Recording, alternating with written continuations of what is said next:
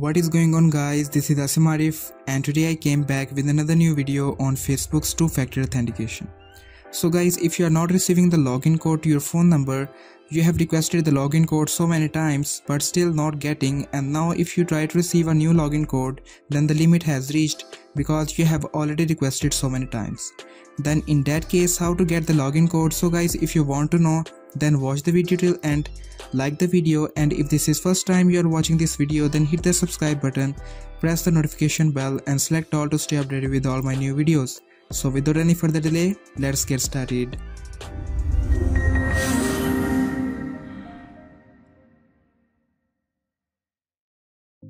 So guys firstly you will need to download this browser. Its name is Mint browser. You can find this link in the description of this video. So simply download it from there and after downloading and installing this in your device, simply go to facebook.com and log in here with your email address or mobile phone number associated with your account. I will hide the login details here because it is not my personal Facebook account. And now you can see that the two-factor authentication is turned on on this device, but I didn't receive any login code. Now if I tab on having trouble and then if I select send me a text message with my login code and then if I tab on continue then you can see here that you can't get another security code at this time. We limit the number of times you can request security code in a given amount of time. We have this limit to protect your security. This guy has requested the login code so many times that now he is unable to receive any new login code. So in that case what you have to do is to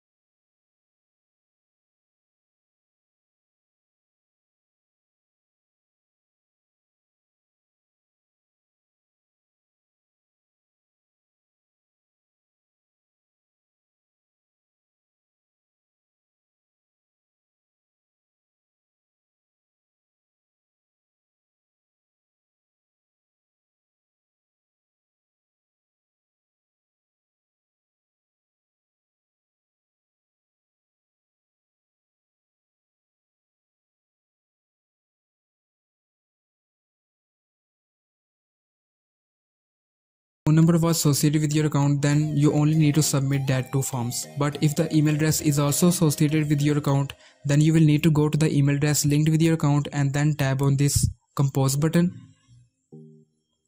and then send an email to security at the rate support.facebook.com and then in the subject section type two-factor authentication code limit reached Then here again paste the same additional info and then tab on this send button. And now the process is completed successfully. Now you don't need to log in your account for 48 hours and then after 48 hours when you will log in your account then you will receive the login code to your phone number. and guys i have shared with you the possible solution for this problem and in case if you still don't receive the login code after 48 hours then another solution for this problem is to bypass it I have made a video on bypassing the two-factor authentication. You can find that video in the iCards. So guys, this was all about today's video. I hope that you enjoyed the video. If you did, give this video a huge thumbs up, share the video and don't forget to subscribe to my channel. Catch you in the next video. Till that, goodbye.